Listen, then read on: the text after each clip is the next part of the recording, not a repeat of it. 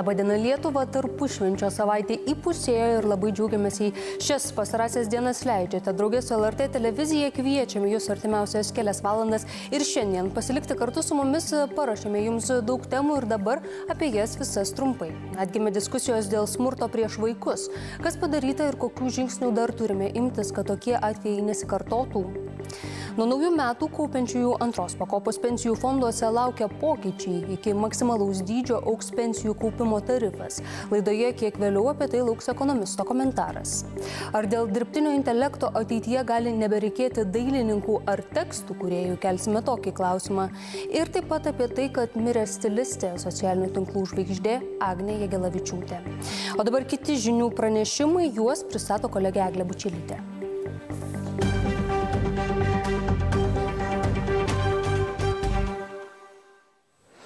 Labadiena dabar, keliolika minučių apie sakose. Nuo kalėdų gydomos, kaip įtariamos sunkiai sumuštos dvimetės būklė išlieka sudėtinga. Ji sekmadienį be sąmonės atvežta į ligoninę su daugybiniais kūno sužalojimais. Šiaulių apygardos prokuratūra šiandien kreipėsi į teismą, prašydama skirti kardomasias priemonės dėl įtariamo mergaitės sužalojimo sulaikytai 19 metai mamai ir jos draugui. Įtariamieji savo kaltę neigia. Kas padaryta ir kokių žingsnių dar turime imtis, kad tokie galimo smurto prieš vaikus atvejai nes nesikartotų, mes kalbame su vaiko teisų apsaugos kontrolierė Edita Žiobienė. Labadiena. Labadiena. Tai be abejo, policija tyria visas e, galimas aplinkybės, bet vis dėlto iš dabar turimos informacijos, ką jau galima pasakyti apie šį atvejį ir kokie pagrindiniai klausimai jums kyla.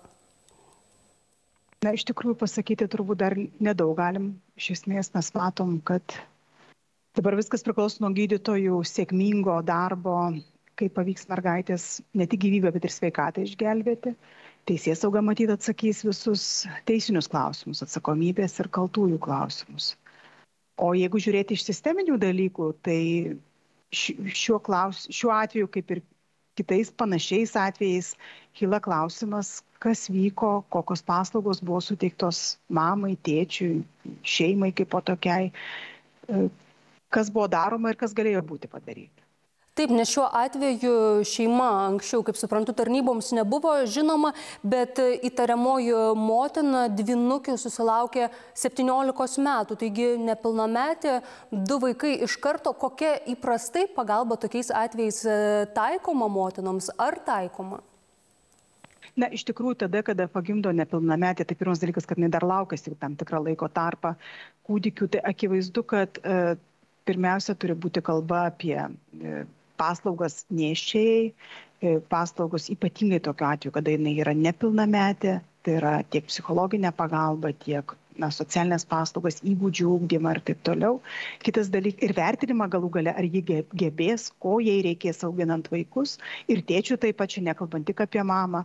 Ir kitas dalykas yra, na, tada, kada pagimdo nepilnametė, paprastai jos vaikams yra steigiama globa, nes akivaizdu, kad ir ji pati yra nepilnametė ir jos vaikai šalia yra. Tai šiuo atveju, matyt, na, visi klausimai kyla savivaldybės lygmenį, kas buvo daroma, kodėl ir, ir kaip padaryta.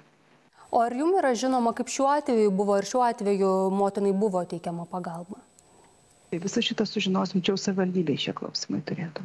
Tai dabar dvynę mergaitę, kitą dukterį šios e, motinos prižiūri vaiko teisų specialistai, kaip tokiais atvejais įprastai elgiamasi, kai štai įtariamas galimo smurto atvejais ir šeimoje yra ir daugiau vaikų.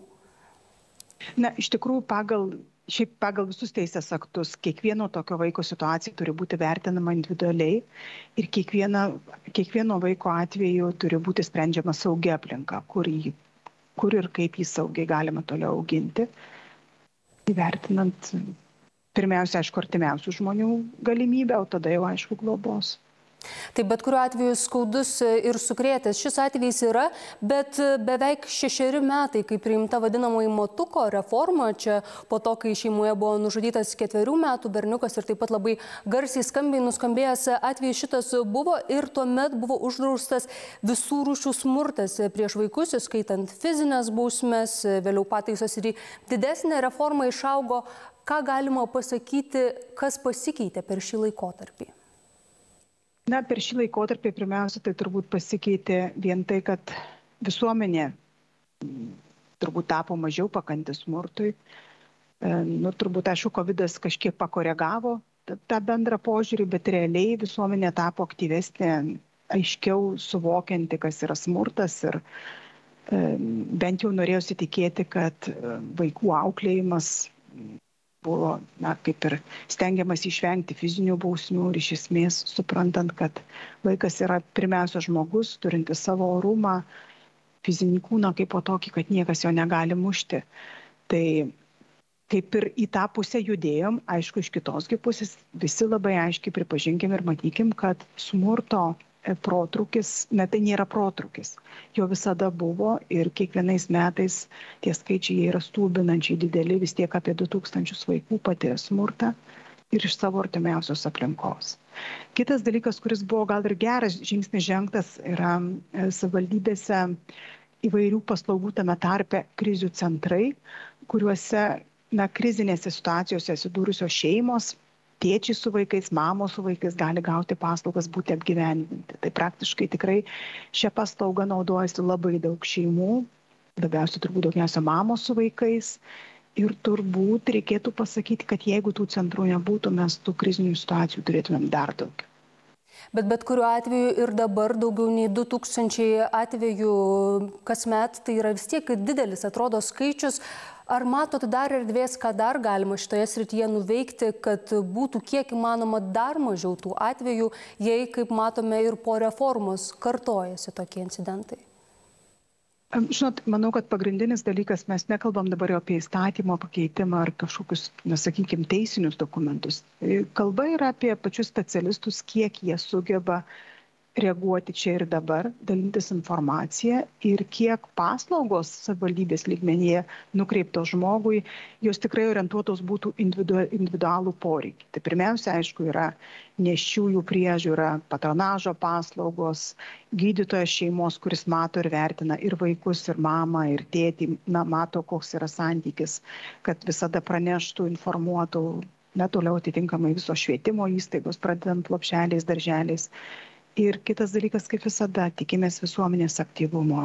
Kaimynai artimiausi žmonės yra pagrindiniai žmonės kurie gali informuoti tarnybas kad reikia pastebi kažkokius netinkamus atvejus vaikų auklėjimo ar netinkamo elgesio Ačiū Jums. Tai vaiko teisų apsaugos kontrolierė Edita Žiobienė. O mes ir jūsų LRT Facebook'e dienos klausimo paklausėme, ar jūsų nuomonė vaiko teisų apsaugos reforma užtikrina vaikų saugumą Lietuvoje ir galime dabar apžvelgti rezultatus. Dauguma jūsų, kaip matome iš rezultatų, nemano, kad tai užtikrina. Jūs taip pat kviečiame apsilankyti LRT Facebook'e ir savo nuomonę šiuo klausimu pareikšti. O dabar kita tema keliamės čia į Balkanus dėl kylančios įtampos santykiuose su Kosovu, Serbijos kariuomenėje kovinės parengties lygis pakeltas iki aukščiausio ir apie to priežastis ir apskritai visas įtampas. Daugiau kalbame su užsienio naujienų redaktorė Indra Urbaitė. Labai sveika. Sveika. Tai nuo to konteksto pradėkime, kokia Kosovo ir Serbijos įtampų pati pradžia ir tos šaknis. Na, matyti, pačiam kontekstui tai labai gerai matyti ir žemėlapį, kurioje vietoje yra Serbija, e, Kosovas ir matome Kosove tos um, tokios rausvos vietos, tai čia gyvena didelė dalis e, etninių serbų, matome sosnį ir pagrindinį didžiausią miestą, kur daugiausia tų serbų gyvena. Na, istorija yra iš tikrųjų sudėtinga tas visas kontekstas. Serbai šiaip Kosovą laiko savo tautos gimimo vieta iš esmės, nors bent jau šiuo metu pačiame Kosove gyvena tik apie 6 procentai serbų, didžioji dalis, virš 90 yra albanai.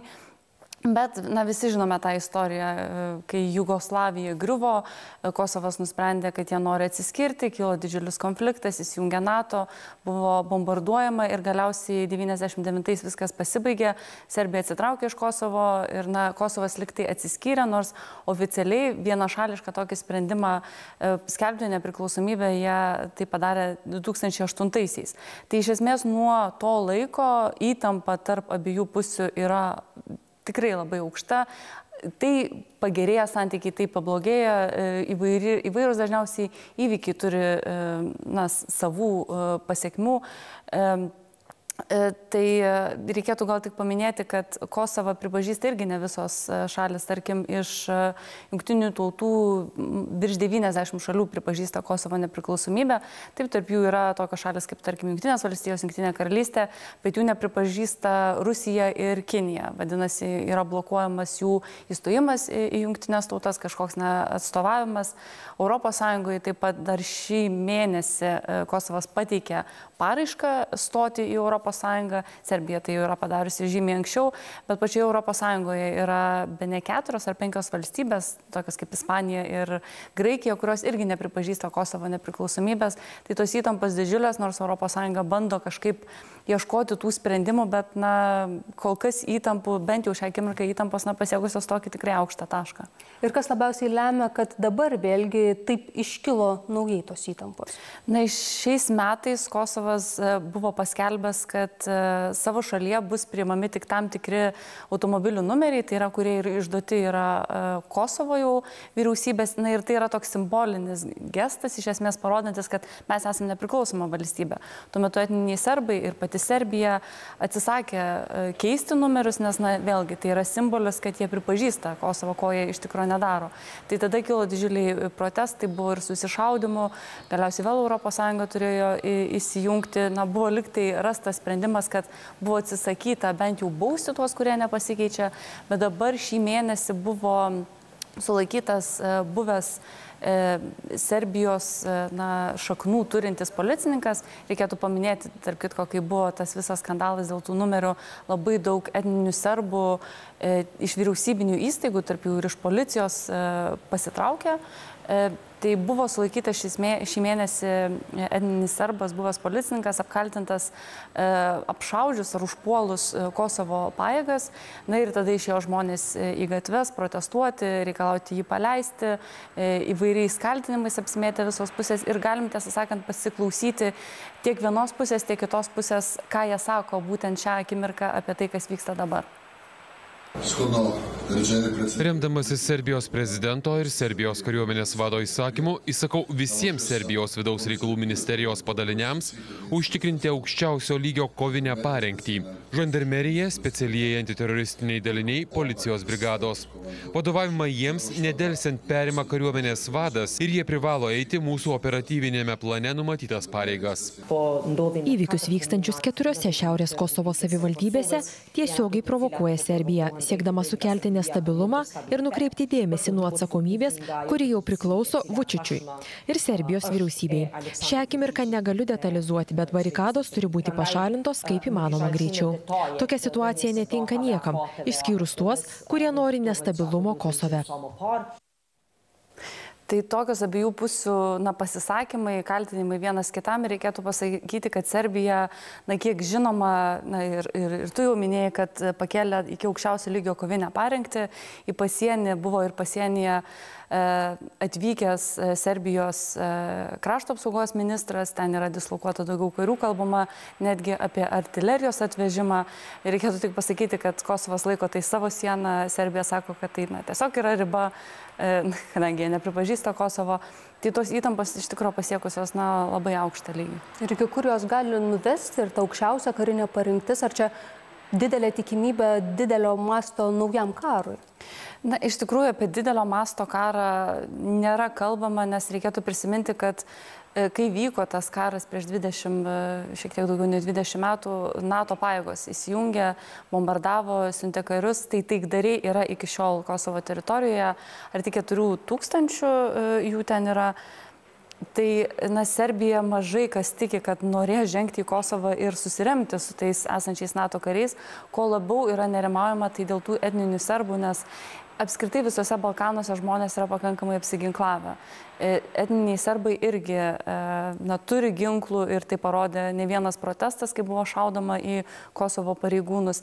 Tai bijoma, kad na, kils toks vidinis, e, pilietinis, na, pilietinių gal nelabai tinkamas žodis pavadinti, bet kad na, tie etniniai serbai nesimtų iniciatyvos daryti kažką, kas gali jau vykti, virsti tokiais na, dideliais neramumais pačioje, pačioje šalyje. Tai na, apie didelį konfliktą tokį masišką tarp valstybių nekalbama kalbama, bet apie tokius neramumus, kur na, gali kilti susišaudimų, na, tikrai nerimaujama ir ES stengiasi na, moderuoti, juo labiau čia reikėtų irgi pridėti Rusijos įtaką. Žinom, kad Serbija ir Rusija palaiko itin gerus santykius ir Kosovas kaltina Rusiją, siekiant atitraukti dėmesį nuo karo Ukrainoje. Na, čia bandyti e, kažkokį naują rusenantį konfliktą e, atkapstyti vėl iš naujo. Na, tai bandoma, bet, na, kol kas nėra tokių na, ryškių pasiekimų, bandant na, sustabdyti tą, tą įtampą, sumažinti tą įtampą. Ačiū tau, užsienio naujienų redaktorė Indra Urbaitė, o dabar trumpam įsiskiriam ir visai netrukus laidą tęsim. Likite ir toliau su LRT.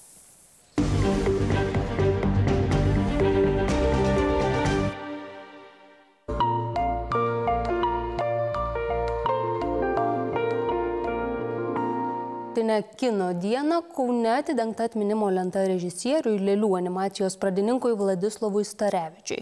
Tik po ilgų paieškų kino entuziastams pavyko rasti duomenų patvirtinančių, kuriame iš namų iš tiesų 20 amžiaus pradžioje gyveno kūrėjas. Plačiau apie tai kolegė Juratė Nilionytė. Labadiena, jei kada skubėsit Laisvės alėje arba šią Mitskevičiaus gatvę, staptelkite ir prisiminkit. Žmogui, kurį dalinasi, galima sakyti, į tris skirtingos šalis, o Kaunas turi skirtinę progą prisiminti Starevičių, tą animacijos kurėją. Aurelijau, kodėl nusprendė čia pakabinti lentą? E, visų pirma, Starevičius tai iš tikrųjų neįlinė asmenybė. E, reikia įsigilinti tos žodžius pirmasis pasaulyje sukūręs turinės animacijos filmus. E, kai Starevičius kūrė Voltį e, Disnėjui, tai buvo tik 9-10 metų. Kaip aš juokauju, Voltas Disnėjus tuo metu dar su pampersais lakstė po stalu, jeigu tokie dalykai buvo tuo metu. Starevičius buvo iš Maskvos atvežtas 4 metų ir čia 26 metus pragyveno. Namo kuriame jis gyveno tais tokiais kritiniais, kūrybingiausiais metais, 1909 ir 12 metais, e, namo ieškojom ilgai. E, žinant, kad jis buvo, Starevičius buvo toks paslaptingas, viskas lėpė, kaip jis tai darė. Ir viską jisai darė namuose. Tai va tą namą surasti buvo tikrai sudėtinga, nes reikia prisiminti, kad tai dokumentai, e, kurie liečia 1900 metus, tai caro, caro laikai. Bet kartais būna stebuklų, kad viską mes suradom ir įrašai dokumentiniai liūdija visi, kad būtent 1909-1911 pabaiga arba 12 metų pradžia, kada jis išvyko į Maskvą, būtent čia ir gyveno. Iki šiol nebuvo žinoma, ne? Nebuvo žinoma. Tai vad tie dokumentai surasti šiandien per atidarimą juos parodysiu, kad nebūtų tik mano kalba. Ir aš manau, kad tą namą įamžinti na, iš tikrųjų yra verta ir Kaunas gali pasigirti, kad būtent Kaune jis ne tik sugalvoja, bet ir padarė pirmosius pasaulyje turinės matus filmus. Ir turbūt dar reiktų priminti, kad ir Rotušės aikštėje taip yra irgi jam žintas Starevičius atminimas. E, taip, e, kai Rasa Miškinytė, režisierė, e, statė filmą Vaužių dresuotojas, tada, kiek aš žinau, jie irgi to namo ieškojo, bet dėja nesurado. Tada buvo priimtas sprendimas, kad pakabinti buvusiam ryšių muziejų arba arklių pašto sandėliuose, e, nes ten buvo Kauno miesto muziejus, kur Starevičius irgi dirbo. Tai va toks e, gal ir dvigubas, e, dvigubai akcentai Starevičiui, bet mano nuomonė, abu yra tikrai vertingi ir turintys teisę egzistuoti, nes tai neįlinė, neįlinė asmenybė. Ačiū Jums, Aurelija, o mes su kino kritiku Gediminu Jankausku, prašom čia gražiai pakalbėsime apie, apie patį Starevičių, kodėl mes jį turime atsiminti, kuo jisai yra įdomus Taip. kino pasą. Prisimenu, kaip lygiai prieš metus uh, už šimto metrų nuo šitos vietos, kur dabar mes stovime, uh, gruodžio 28 dieną per tarptautinę e, kino dieną. Uh, beje, uh, 1895 metais gruodžio 28 broliai Lumierai Paryžiuje parodė pirmosius filmus ir uh, nuo to laiko prancūzams šita data yra nacionalinio kino pradžia pradžia, o visiems geros valios žmonėms ir neabejinkiams kinui, tai yra tarptautinė kino diena. Skulptūra pirmajam filmui. Tai buvo pavadinta ta skulptūra, kurią atidengėme e, pernai prieš e, naujosius metus, gruodžio 28 dieną. Na, o šiandieną yra kita, jau antra netgi proga mūsų mieste įamžinti Vladislavą Starevičių. Nes štai Aurelijus jau pasakė, aš galiu pridurti, pasididžiuodamas, kad 2007 metais ant ryšiaus muziejaus sienos specialioje kryptoje buvo atidengta lenta, kur juodo ant balto, taip sakant, netgi ant auksos spalvos plokštelis buvo dviem kalbom, angliškai ir lietuviškai parašyta, kad Kaune pirmosios pasaulyje erdvinius filmus sukūrė Vladislavas Starevičius. Unikali asmenybė, kurią mes pagerbėm šiandieną antrą kartą, nes stovime prie namo, kuriame Starevičių šeima gyveno prieš išvykdama į Maskvą. Vladislavas Starevičius, taip reikėtų įvadinti, yra tikrai išties unikali asmenybė. Jis buvo vadinamas ir Europos Voltų Disnėjumi, e, anksčiau už Voltą Disnėjų kūręs animacinius filmus. Jis buvo vadinamas ir 20 amžiaus Ezopu, nes gana dažnai e, jo filmai rėmėsi pasakeičiomis. Na, kai Rusijoje jisai gyveno ir kūrė, tai ekranizavo Krylovo pasakeičias, paskui Prancūzijoje jau La Fonteno pasakeičias. Taigi šitas apibrėžimas 20 amžiaus ezopas yra labai tinkamas.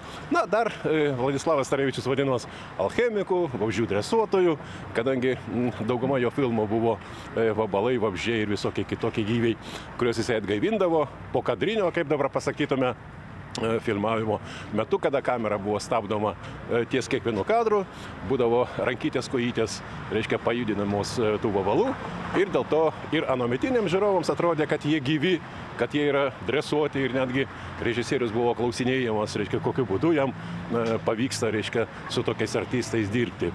Taigi, Vladislavas Starevičius. Šiandieną tikrai yra jau archyviniais dokumentais įrodyta, kad būtent šitame name čia buvo ir Starevičiaus žmonos parduotuvėlė, čia buvo keli kambariai, kurie, kuriuose jie gyveno, todėl labai logiška čia matyti šitą atminimo lentelę. Antrasis. Ir dirbo. Taip, čia jisai, jau dabar galime drąsiai sakyti, kad netgi tie uh, filmai, kurie pasirodė 13 metų pradžioje Maskvoje, yra pradėti, o gal net ir pabaiginėjami būtent čia. Nes negalima per 2-3 mėnesius sukurti tokį filmą kaip Gražuolė Liukanida, kuriame veikia apie 50 įvairiausių gyvūnų ir vabalų, ten rodomos ir viduramžių kovos, tik tai raguočių ir usočių. Taip kad negalima tokį filmą sukurti per na, tokį labai trumpą laiką. Vadinasi, jų pradžia, užuomasga tikrai buvo šitame name. Savo studijos, žinoma, Starevičius vargu ar turėjo Kaune, Va, Maskvoje taip, Paryžiuje taip, bet čia, ko gero, šitame name tie jo pirmieji filmai buvo ir, ir, ir, ir sukurti. Ir dar vieną dalyką noriu pasakyti.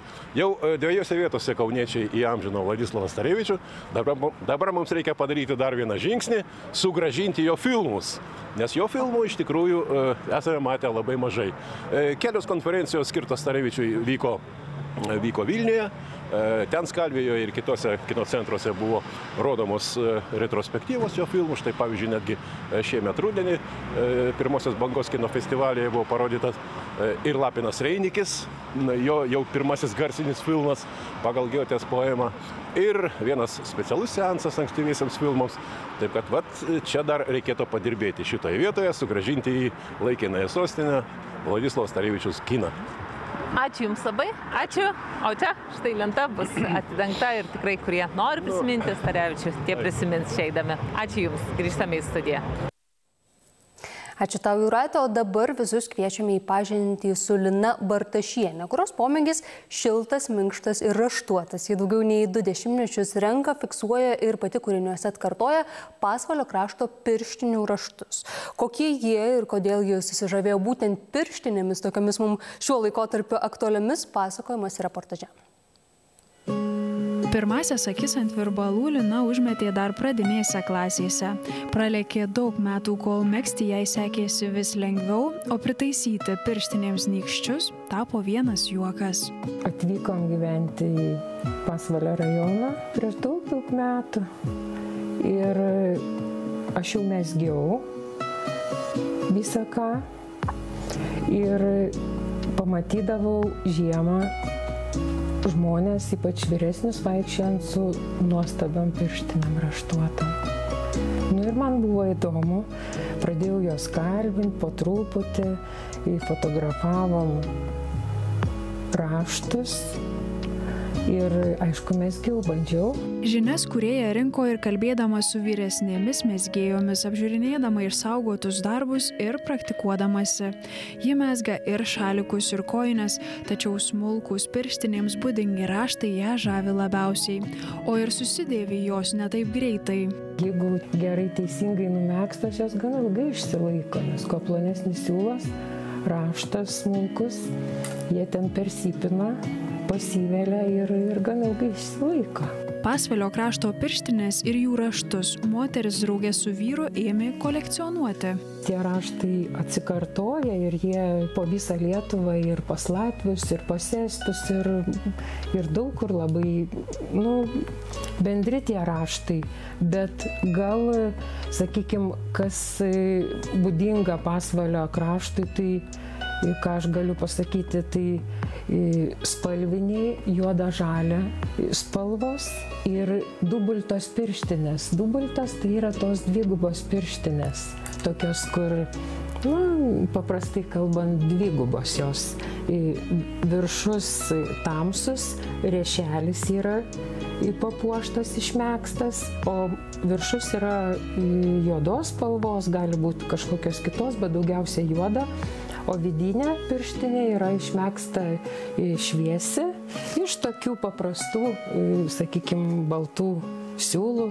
Seniausios pirštinės jos kolekcijoje numėgstos maždaug prieš 60 metų.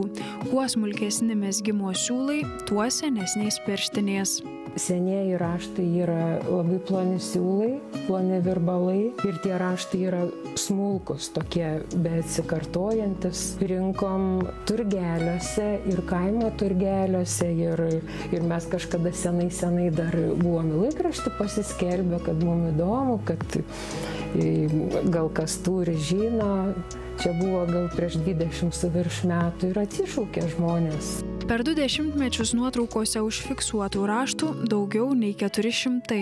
Turimų autentiškų pirštinių maždaug šimtas. Savo pačios kūrinių Lina turi mažai, dauguma dovanota, išdalyta, o ir kelios turimos poros eksponuojamos dviejose šiuo metu veikiančiose ekspozicijose. Viena respublikinė konkursinė liaudės meno paroda Aukso vainikas veikia Gelgaudiškio dvare, kita Pasvalio kultūros centre. Ten ta paroda tokia sudaryta iš trijų tokių dalykų. Tai yra mano mėgstos pirštinės, jų nedaug yra, ir autentiškos pirštinės rėmose, kur esu surinkus dalis tik tai nes galerija nėra didelė, tai kiek, kiek jau ten tilpo.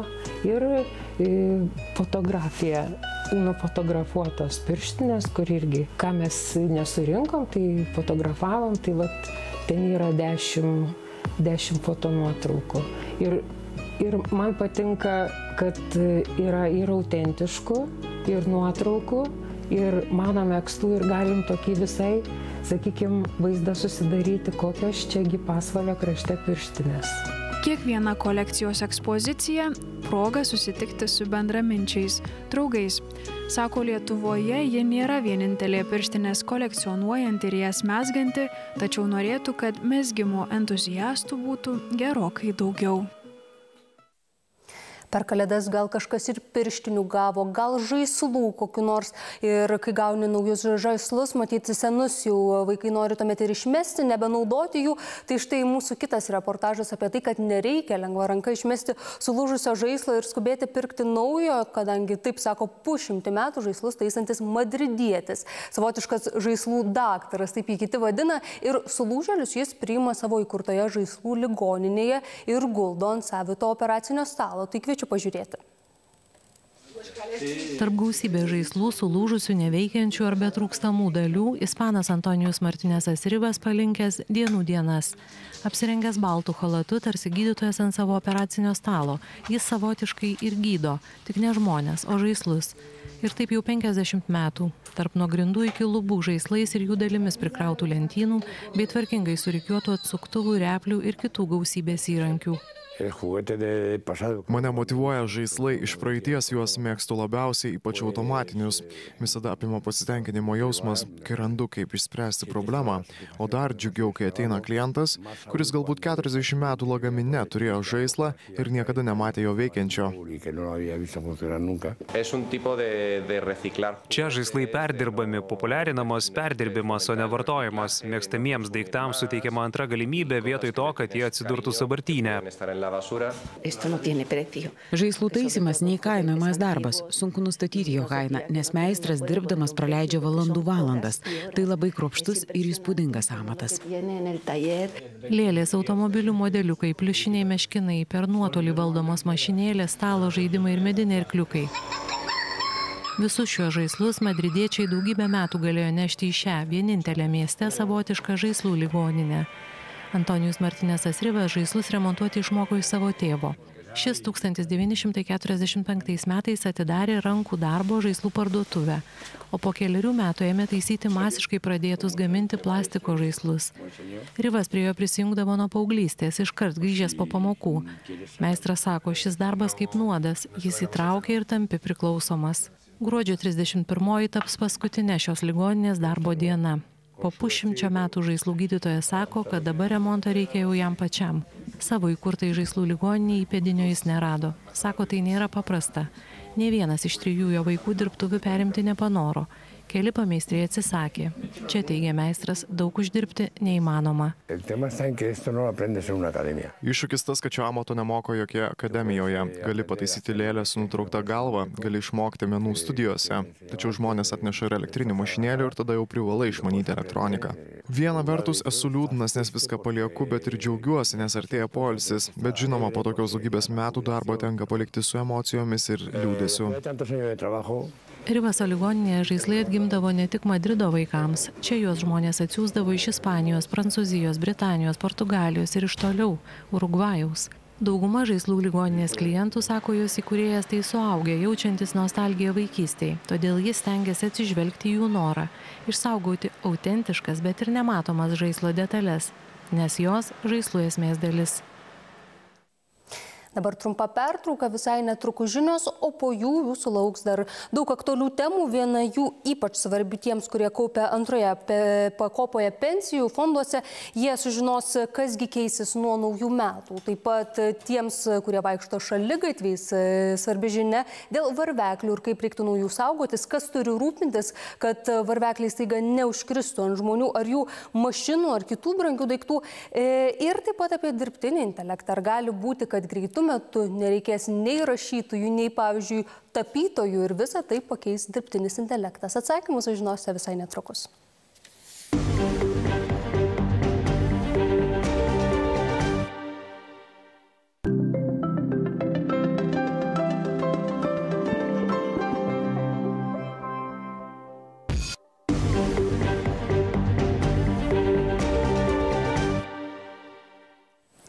Nuo naujų metų kaupiančiųjų antros pakopos pensijų fonduose laukia pokyčiai. Daliai žmonių auks pensijų kaupimo tarifas. Daugiau apie laukiančius pokyčius kalbame su finansų analitiku Mariumi Dubnikovu. Labadiena. Sveiki. Tai detaliau, kas keisis nuo naujų metų ir ką šiuo atveju svarbu žinoti gyventojams? Sekančiais metais didėja įmokos nuo, nuo uždirbamų pinigų į pensijos fondus į antrą pakopą. Tai yra sekančiais metais jau bus pasiektas maksimalus dydis, kuris yra numatytas, tai yra 3 procentai nuo atlyginimo. Ir taip pat bus pridedama pusantro procento nuo vidutinio šalies atlyginimo iš valstybės pusės tam, kad skatinti na, kaupimą senatvį. Tai čia toksai na, padidėjimas, kur, sakykime, kažkiek tai keliais eurais šiek tiek sumažins pajamas, nes dalis tų pinigų nukeliaus būtent į pensijų fondą, kuriame patys savo ir kaupiame pinigus senatvėje. Na, o antras pokytis tai yra, kas tris metus pensijiniuose fonduose yra peržiūrimos sumos, pagal kurias yra taikomos skirtingos taisyklės, kai žmogus išsiema pinigus jau iš pensijinio fondo tai pačioje pradžioje tiktai priminsiu kad riba buvo pavyzdžiui penki tūkstančiai eurų. Jeigu sukaupiama tokia suma tai jinai būdavo išmokama iš karto. Na o dabar ta riba jau pasidaro šiek tiek didesnė penki tūkstančiai keturi šimtai eurų. Ir jeigu šią ribą perkeliame per perlipame tai jau ta suma bus dalinama į dvidešim metų ir išmokama dalimis kaip priedas prie pensijos na ir paskui automatiškai didėja ir kitos ribos tai yra riba tūkstančių aštuoni šimtai kurią perlipus žmogus iš tiesų turi jau priimti sprendimą kokiu būdu bus vis tiktai išmokamos antroje pakopoje sukauptos lėšos tai pasirinkimai yra du. Tai yra galima pirkti tiesiog paprastąjį anuitetą, vėlgi kai sodra išmoka priedą prie pensijos iš tų sukauptų lėšų per, per iki, iki gyvos galvos moka. Antras dalykas tai yra galima dar tas lėšas palikti fonde ir nusipirkti vadinamą atidėtai anuitetą, kuris įsijungtų ties 85 metais. Tai yra žmogus, kai sulaukia 85 metų, jam pradedama mokėti priedas, o per tą laiką na, to pinigų suma yra dar vis paveldima.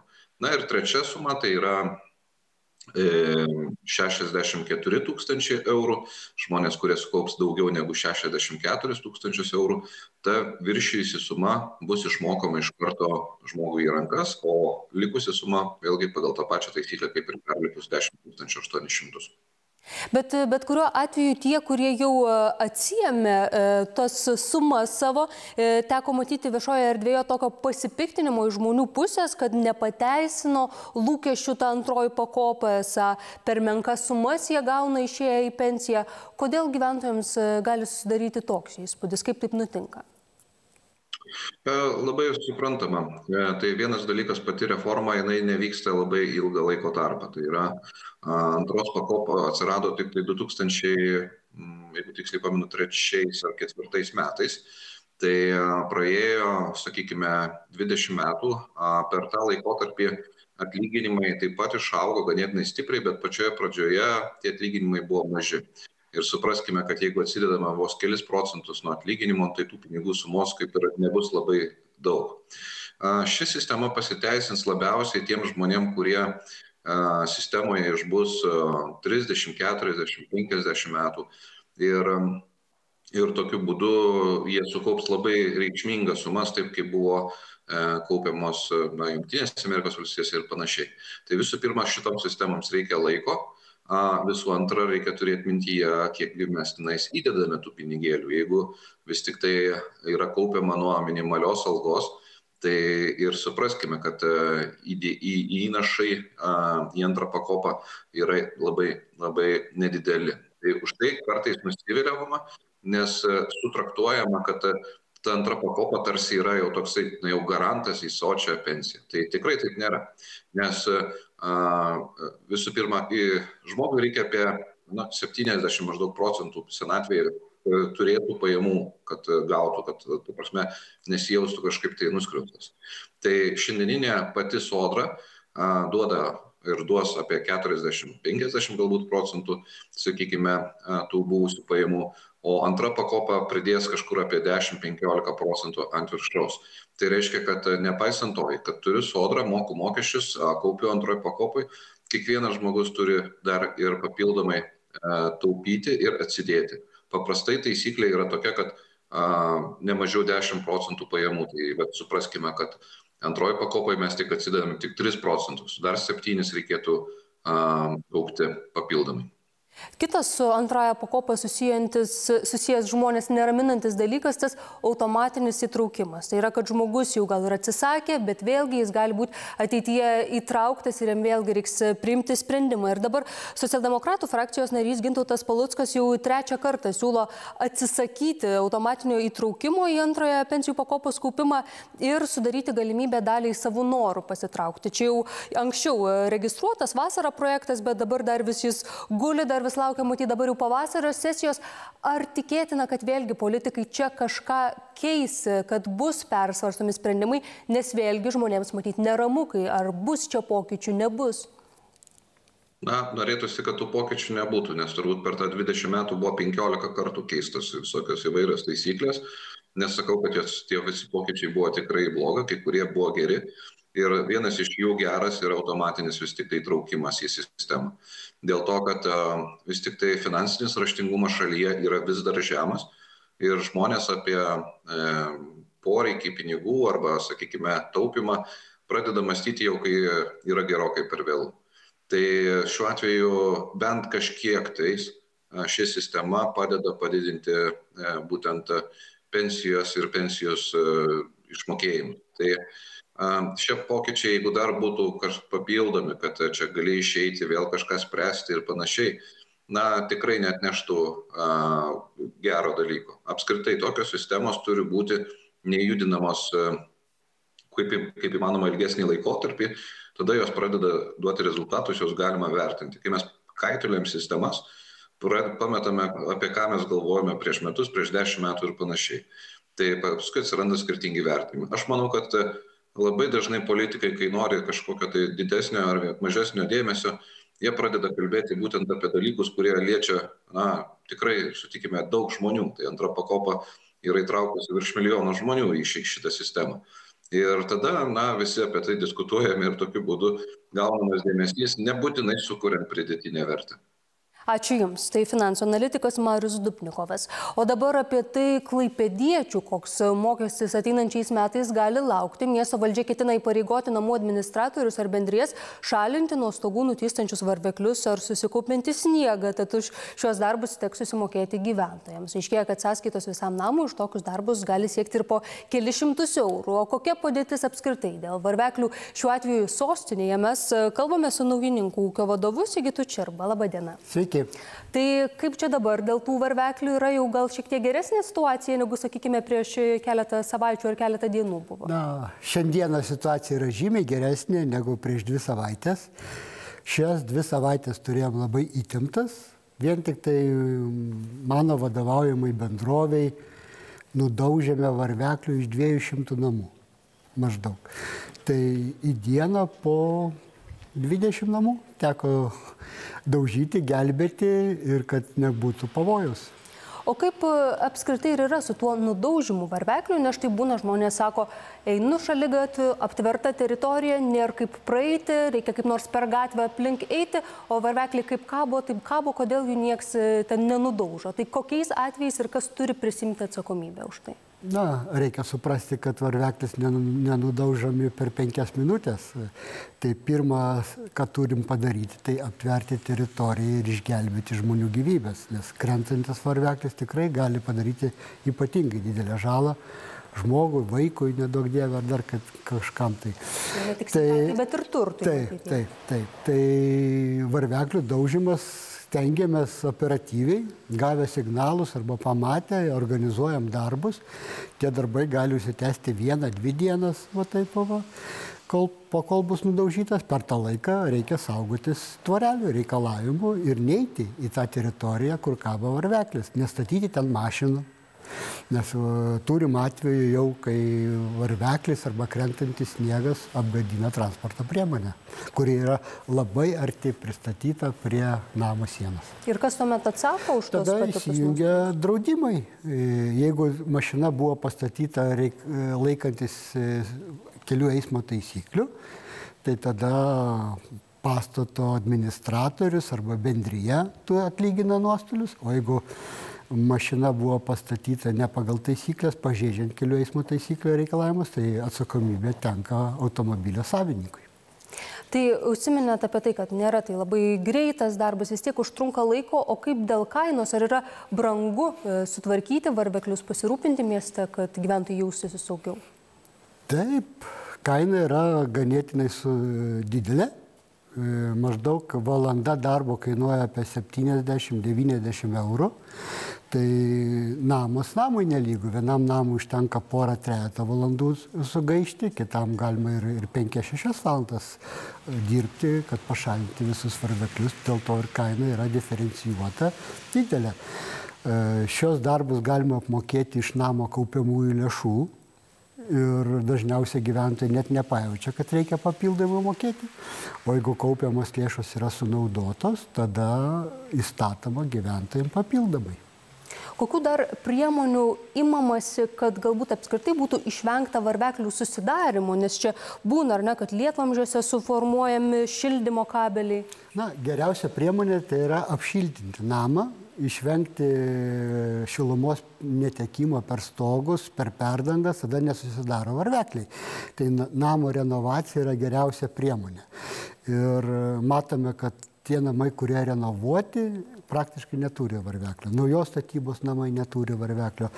Turi varveklius senos statybos iki karinės e, statybos namai, kurie yra, turi dvišlaitį stogą ir per perdingimą dinksta šiluma, šildo stogą, tirpta ledą ir ledas vanduo susiformuoja ir tampa varvekliai. Ir teisingai pridaro nuostolių namo konstrukcijom, latakams, lietvamžiams, e, parapetams ir tai yra nuostolis gyventams.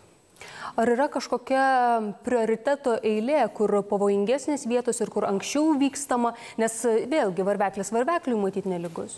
Taip, varvekliai yra jauni, kaip aš vadinu, kurie yra ten 10-15 cm ilgio, tai mes nepuolam jų daužyti pirmoje eilėje pagal pavojingumą. Jeigu yra arti šalygatvio, arti susibūrimo, praeimo takelio, kur, kur daug gyventojų vaikšto, ten yra prioritetas ir pirmoje vietoje daužoma.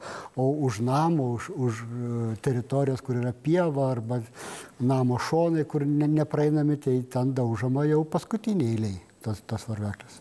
Ar e, patarėte kaip nors patiems gyventojams, jeigu jie čia galvoja, nesulaukiu administratorių, pats paimsiu, kaip nors ten nudaužysiu? Nepatarėm, bet, bet negalim pasakyti ir policijos. Tai jeigu jau iš penkto aukšto gyventojas šluotkočių kažką bando padaryti, tai taip, bet reikia tikrai įsitikinti, ar apačioje nėra nieko pašalinių, nėra gyventojų, praeivių nėra. Tik tada daryti kažkokio varveklios daužimo darbus, bet geriau nedaryti, geriau įsikviesti mus, tarnybą, informuoti informuoti ir mes tikrai atvykstame ir vieną, tą pačią dieną arba sekančią dieną tie varvekliai yra nudaužomi. Ačiū Jums labai. Naujininkų ūkio vadovas Sigitas Čiurba apie tai, kodėl ir kaip svarbu pasirūpinti varvekliais, kad niekas nebūtų sužalotas ir nenukentėtų. O dabar trumpa pertrauka ir visai netrukus kalbėsime apie dirbtinį intelektą ir tai, kokias profesijas jis galbūt gali pakeisti.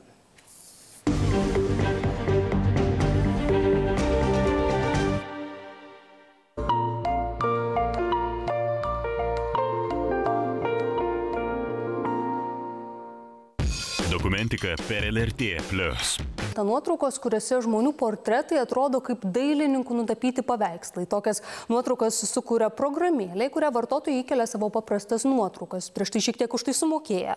Be to dalyjamas ir įvairiausiais tekstais, eilėraščiais, kuriuos sukuria dirbtinis intelektas. Ar dėl dirbtinio intelekto ateityje gali nebereikėti dailininkų ar tekstų kuriejų, kokiu riziku dirbtinio intelekto naudojimas gali kelti, mes visą tai dabar aptarsime su Vilniaus universiteto kibernetinio saugumo laboratorijos vadovu Linu Bukausku. Labadiena. Labadiena. Ar pačiam teko kurią nors iš tų čia mano paminėtų programėlių pasinaudoti? Teko, tiesą pasakius, ne, ne, ne konkrečiai vaizdų piešimo ar vadinkim taip, kad sukurti pseudomeną, bet iš tikrųjų teko su kitomis programėlėmis.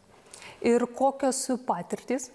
Na, patirtis yra vienareikšmė, kad tai yra savotiškai ir pseudomenas, tai yra, na, nevadinkim tai menu pirmiausia, tai yra daugiau išvestinis. E, iš matematiniam formulėm ar matematiniais reiškiniais išvestas e, ar vaizdas, ar tekstas ir jis yra sugeneruotas pilnai kompiuterio. Tai todėl ta patirtis kartais gali būti nuvilinti, nes atrodo kažkokį čia ne, visiškai neaišku daiktą sugeneravo.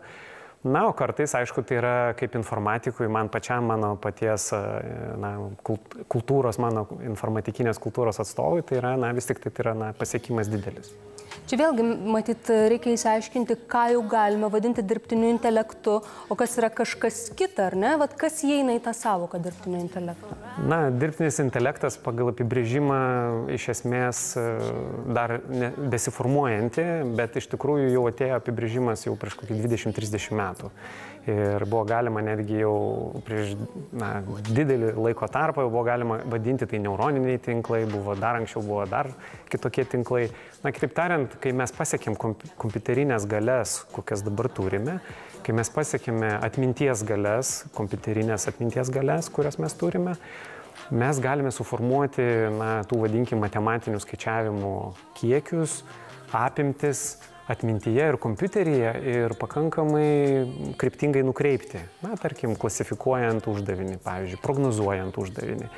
Ir vienas iš, iš tokių, na, būtų na, vienas iš senų uždavinių, kurį dirbtinis intelektas sprendžia, pavyzdžiui, e, prisiminti veidą. Na, arba tai vadinama tau parodo nuotrauką, dirbtiniam intelektui parodoma e, nuotrauka, iškerpama kažkokia veido dalis, e, na ir po kurio laiko dirbtinis intelektas bando jį atstatyti. Tai jeigu mes parodome to paties žmogaus daug kartų nuotrauką, na tai tikėtina, tai bus statistiškai vidutiniškas kažkoksai tai žmogaus veidas ir atitinkamai tą vietą bandys užpildyti na, likusią informaciją. Tai vadinama na, tokie prediktiniai arba ats, e, prognozu, prognozuojantis uždaviniai kokių rizikų gali kelti toks dirbtinio intelekto naudojimas? Nes aš įsivaizduoju, kad daugam tai kaip žaidimas, kad ir kokias nuotraukas tu nusinti, įkeli, bet vėlgi matyt atsiranda tas irgi saugumo momentas, kur nukeliauja tos nuotraukos, gal kažkokių ir dar kitų rizikų mato. Iš tikrųjų, čia pats turbūt geriausias klausimas, kokios rizikos kyla. Ir pirmiausia, kyla rizikos iš to, kad e, mes pateikėme informacija, kuri dažnai būna labai asmeninė. Vienas atvejis, e, kai mes kalbame apie kažkokią tai peizažą nufotografuotą, ar mes kalbame apie kokį nors, ten nežinau, objektą, gėlę, vazonas. Liktai atrodytų nieko tokio, bet kai mes kalbam apie fizinio asmens, e, tai yra veidą, savo draugų, ar ten tėvų, artimųjų, vaikų piešin, nuotraukas, atvaizdus, tai tada yra kyla taip vadinamas biometrinių duomenų nutekėjimo, na, toksai kaip ir na, rizika. Tai tą riziką mes galime iš karto matyti vienas atvejis, jeigu jinai yra valdoma, tai yra pavyzdžiui šitas įrenginys, tai yra mobilus įrenginys, mobilus telefonas, atlikus nuotrauką, vietoje viską apskaičiuoja, vietoje visas distorcijas padaro, iškraipimus, nupiešimus, na, pseudo teptuku nutapo. Tai tokiu atveju kaip ir viskas būtų saugu bet daugumoje atveju visos programėlės, kurios yra naudojamos, naudojamos generuoti arba kažkaip kitaip deformuoti originalą, yra vis tik tai besinaudojančios trečių šalių na, kažkokia tai svetainė. Tai todėl pavyzdys, paimant vieną ar kitą programėlę, dažniausiai jos e, nufotografavus nuotrauką, ar įkėlus tą nuotrauką į programėlę, yra užsiunčiama ta informacija į trečią šalį, tai yra į kažkokią tai svetainę, toje svetainėje yra jinai apdorojama, na ir atitinkamai gražinama atgal kažkoks tai deformuotas ar, ar, ar, ar, ar iškraipytas vaizdas pseudo, pseudo teptuku. Todėl, kai mes kalbam apie rizikas, tai yra na, tokia organizacijos ar įmonės, kuri siūlo tokį produktą, tai yra vis tik etiko, etiško elgesio rizika ir ar duomenys neliks ar tie duomenys nebus panaudoti kitaip, negu iš tikrųjų yra na, šios, šios būtent deformacijos atveju. O kaip dėl profesijų įvairių, nes aš ir pristatydama temą užsiminiau, kad gali atrodyti, štai aš įkeliu nuotraukas, taiga kaip dailininko paveikslas. Tai kam čia tada atrodys tikri dailininkai reikalingi, jeigu taip paprasta tai padaryti? Arba kitas variantas, tas pats tekstinis, teko matyti, štai užduoda žmonės klausimus dirbtiniam intelektui ir štai sukūriamas eilėraštis, kažkoks įrašas parašomas, tai atrodo namų darbų moksleiviams ar studentams nebereikės daryti. Lygiai tą patį galiu pasakyti apie save. Ar reikės manęs kaip informatiko, jeigu dirbtinis intelektas kurs kitas programas. Ir dar turbūt greičiau. Ir greičiau, ir daugiau, ir, ir galima tai pasiekti didesnį na, kiekį. Tai šiuo metu vykdomi netgi ir moksliniai tyrimai iš tikrųjų, ar tai kažkaip nors pakeičia tą vadinamą originalumą, kokybę ir visą kitą. Tai vienas e, tyrimas buvo atliktas neseniai e, Britanijos universitete, konkrečiai buvo uh, tyriama sugeneruoto programinio kodo kokybė ir jo na, veikimas ir saugumas ir, ir na, vadinkim taip, patogumas ir visa kita. Tai šiuo atveju dažnai ir jų išvada buvo tyrimo, kad tai programos sukurtos su dirbtinio intelektu, kol kas tai yra, na, vadinkim, žaisliukai e, saldainiai, tiesą pasakius, kurie iš tikrųjų dar netgi daugiau turi saugumo e, skilių negu, taip, na, skilių aš taip negražiai pasakiau, saugumo kažkokių tai pažeidimų kur, ir dažniausiai netgi turi daugiau klaidų, negu žmogus jas kurtų. Todėl, kalbant apie menininkus, na, aš tikiu, kad, na, vadinkim taip, kad dirbtinis intelektas nekuria meno, tai yra daugiau na, vidutinių kažkokių reikšmių ar prognozu, prognozuoja pagal spalvingumą ar pagal kažkokius, tai vadinkim, informacijos nuotraukoje esančius na, na, pikselius, prognozuoja būsimuosius pikselius. Tai savotiškai, na, aš nevadinčiau tai menas, labiau norėčiau palaikyti menininkus, kad žmogaus kūrinys yra įdomesnis, originalesnis ir žymiai geresnis. Ir kad bent jau kol kas dirbtinis intelektas neprilyksta žmogui. Kol kas tikrai dar galima būti drąsus e, ir sakyti, kad taip. Ačiū Jums, Vilnius universiteto kibernetinio saugumo laboratorijos vadovas Linas Bukauskas. O dabar keliamės kitur. Rusijai pradėjus karą ir užpolus Ukrainą, tūkstančiai šios šalies vaikų atsidūrė Lietuvoje ir padėti jiems pamiršti karo siaubą, paliktus namus, mokyklas ar draugus stengiamasi čia nuo pirmųjų jų buvimo Lietuvoje dienų. Ir šiandien šie vaikai katedros aikštėje švenčia Kalėdas. Mūsų kolegė Dovilė Lisauskaitė yra vietoje. Dovilė, ar jau prasidėjo šventimas? Sveiki, laba diena, sveikinuosi su jumis iš tiesų iš be galo šiltos, gražios, fantastiškai pilnos gerų a, nuotaikų katedros aikštės. Jeigu dar turite galimybę užeiti, pabelsti kalėdų senelių ir palaikyti tuos, kuriems labiausiai reikia Štai, štai, štai ir jis tas kalėdų senelis. Kalėdų senelį, pasisveikinkite su, su, štai, kaipgi, kaipgi, kaipgi šventės, kaipgi kalėdos be senelio kalėdos, na ir žinoma, kokios e, vaikų ukrainiečių šventės be pagrindinio šių švenčių organizatoriaus Laurino Šeškaus. Su šventėmis jūs, Laurino. Šventėmis taip pat ir visus žiūrovus ir visus Lietuvos, Ukrainos žmonės koks tas jausmas čia šiandien sukviesti, net bijau sakyti tikslų skaičių, kiek čia tų vaikų. E, šventė dar neprasidėjo, šventė prasidės dar po pusvalandžio. E, manau, kad bus tikrai nemažai vaikų, vyko tokia išankstinė registracija, mes laukiame apie 3000 vaikų, dovanų dėl visako elfai, savanoriai elfai paruošė daugiau. Tikiuosi visiems užteks, e, savanoriai ruošiasi iškepti iki vakaro 5000 spurgyčių porcijų.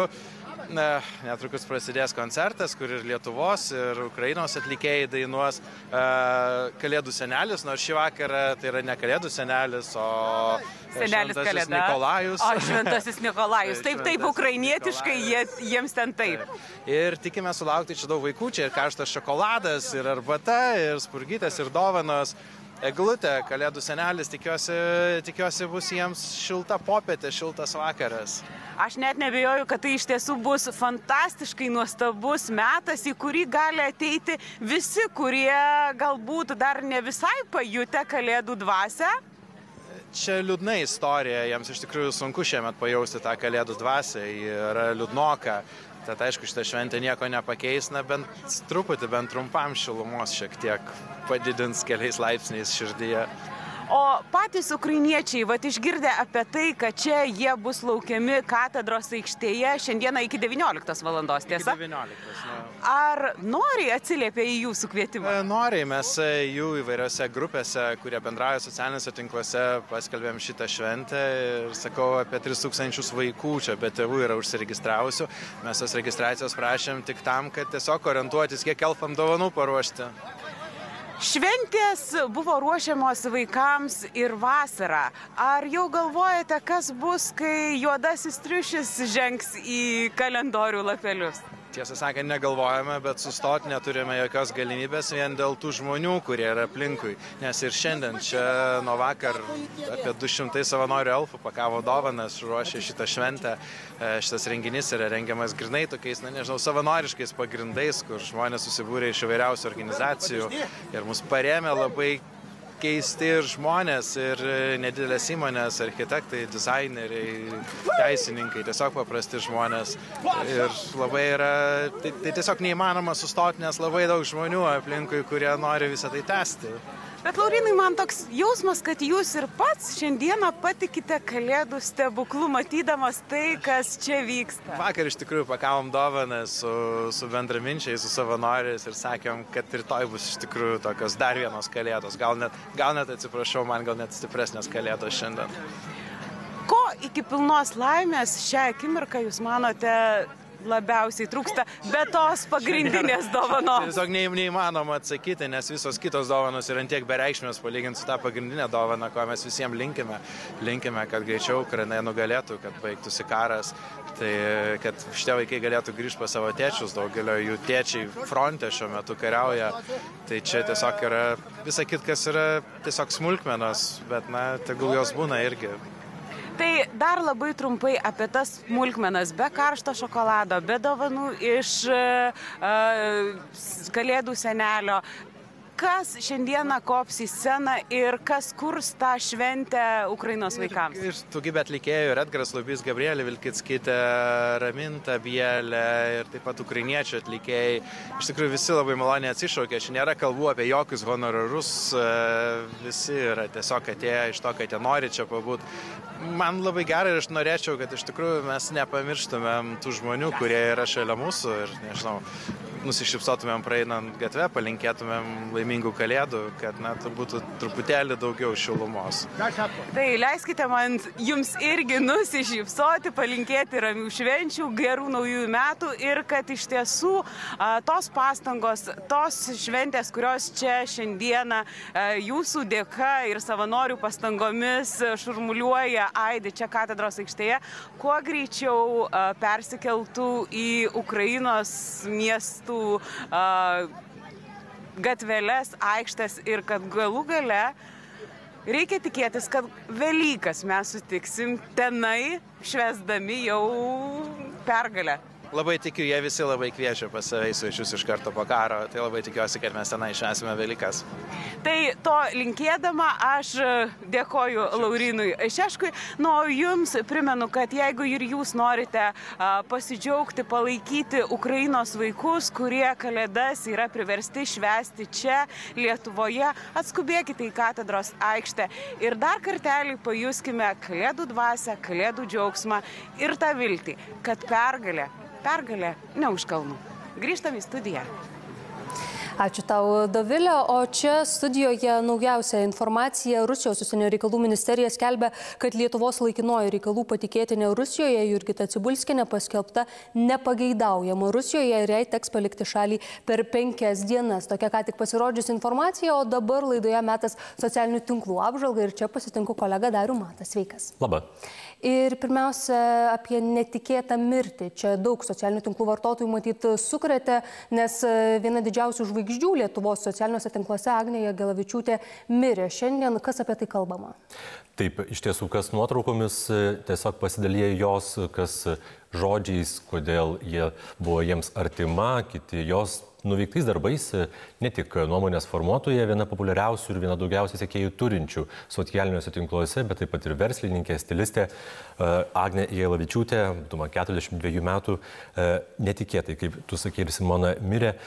Štai keletas jos draugų, kurie socialiniuose tinkluose rašo, Saugirdas Vaitulionis sako, kad šiandien mirė ir dalis manęs negaliu ir nesugebu suvokti, tiesiog negaliu nustoti verkti.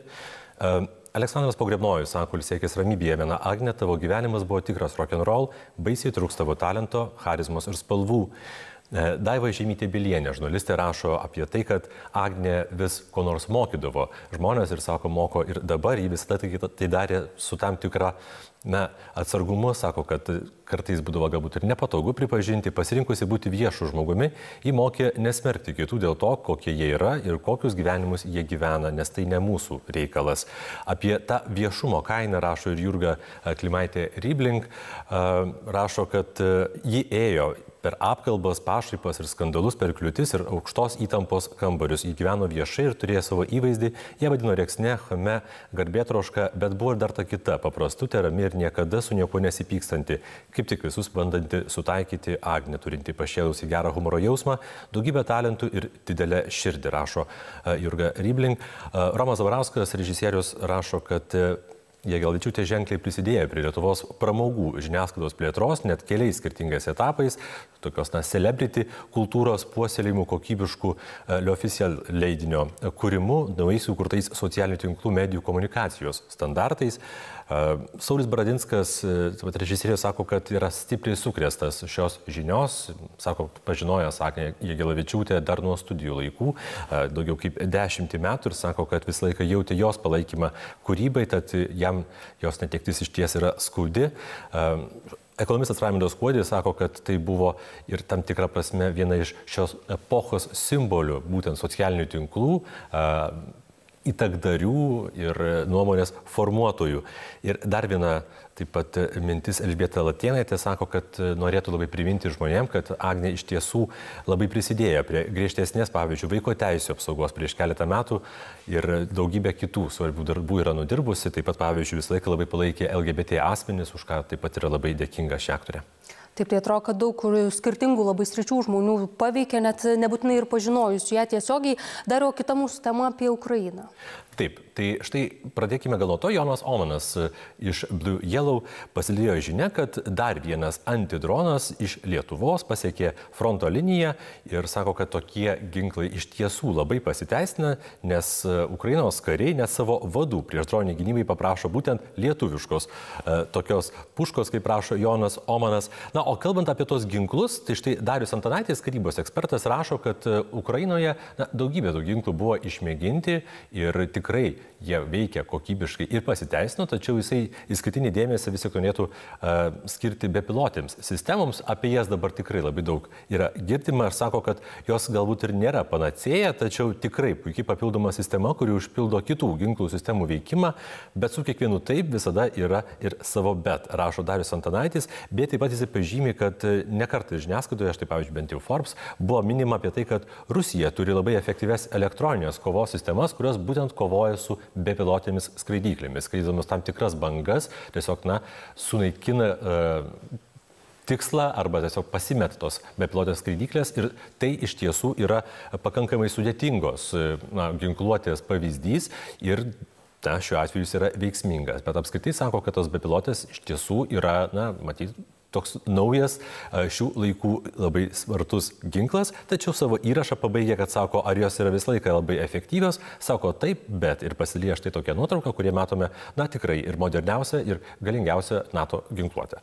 Tai beplotis yra svarbu, bet tik tai su jomis matyti visko taip nebus. O štai Marius Burokas, patas pasidalėjo štai tokia kita labai svarbia ir labai skaudžia pasiekme, kurią, kaip sako jisai, dar labai ilgai jausime mes visi, sako, kad oficialiais duomenimis nugaišo 6 milijonai naminių gyvūnų Ukrainoje jau nuo karo pradžios, išnyko beveik visa polesės lokių populiacija, rašo, kad Jodojo jūroje išnaikinta mažiausiai 50 tūkstančių delfinų, na, o tūkstančiai hektarų dirbožėmio buvo užteršti kenksmingomis medžiagomis. Na, žinome, kad Ukraina visuomet garsėjo labai derlinga žemė, tad didžioji dalis jos dabar, na, ypač okupuotose teritorijose, tikrai nėra tinkama žemdirbystėj. Na, o čia dar tokia nuotrauka, vaizdo įrašas trumpas taip pat iš Twitterio. Tai daug kalbame apie tai, kad yra Rusija užminavusi nemenką dalį Ukrainos teritorijos. Tai štai čia galite matyti, kiek tų minų iš tiesų per vieną tokį išvykimą išminuoti patys ukrainiečiai surenka. Tai štai tikrai nemenkas kalnas jų. Na, bet yra ir dar viena liūdna labai žinia, tai štai skaičiuojama, kad nuo pat karo pradžios Ukrainoje Rusija jau yra deportavusi apie 13 tūkstančių ukrainiečių vaikų. Ir sako, kad, kaip, pavyzdžiui, Aleksijus Esnikovas rašo, iš Ukrainos vadovybės sako, kad tai iš tiesų pažeidžia labai daug konvencijos žmogaus teisų straipsnių ir na, už tai reikės kažkada atsakyti. Bet pabaikime džiugesnė žinia. Tai štai pavyzdžiui, matome, kaip sparčiai ukrainiečiai stengiasi atstatyti tai, kas yra sugriauta. Tai štai matome, kaip atrodė šis 15 aukštų pastatas, 16 aukštų pastatas po rusų atakos. Tai buvo nutikę kovo viduryje ir kaip dabar štai visiškai naujai sutvarkytas pastatas sostinėje Kijeve atrodo šiandien. Dariu, prieš tai įrašė apie žmogaus teisės čia Ukrainos karo kontekste kalbėjai, o čia bendrai dabar įvertinta, kokie bendrai metai buvo, ar ne, žmogaus teisų prasme? Taip, lygių, lygių kontrolė lygių teisų Birtoje Sabatauskaitė tokį žvilgsnį metė į šiuos metus ir aprašė, kas buvo pasiekta žmogaus teisų ir lygybės rytyje, o kas buvo vis tik na, praleista pasiekti tą progą. Tai štai sako, kad labai džiugu, kad na, iš tiesų buvo priimta vadinamoji ne, negalios reforma, kad buvo priimtas apsaugos nuo smurto orderis ir kad pagaliau pradėta kalbėti apie sutikimo kultūrą, tačiau sako, kad dėje vis tik nebuvo įtvirtinta smurto dėl lyties savoka iki šiol, nepriimti civilinės sąjungos įstatymai, neužtikrintas orumas prieglapšio prašytojų ir nereguliarių migrantų atvykimui. Na, čia kritikos tikrai vyriausybė buvo nemažai gavusi. Ir dar trumpai labai apie atostogų krypčių tendencijas, kur čia žmonės keliauja labiausiai. Taip, Turizmo atstovė Žydrė Gavelienė štai tokiamis išalgomis pasidalijo, kaipgi atrodys 2023 turizmo rinkai ir kur daugiausiai nori keliauti ypač pasiturintis žmonės. Ir sako, kad yra trys pagrindinės tokios galbūt kryptis, tai aišku yra Pietų Europa, tai yra Meksika ir na, visa Saulėtųjų Kalifornijos pakrantė ir Japonija. Tai štai šios trys kryptis bus tokios vienas populiariausių, jų labiausiai žmonės per pandemiją pasilgo. Gal net per naujus metus ten vyks sutikti. Ačiū tau, Darius Matas, socialinių tinklų apžvalga, ačiū Jums, kad buvote draugė su mumis. Visai visai netrukus naujausios žinios ir Eglė kviečiu ir toliau pasilikti su LRT. Iki.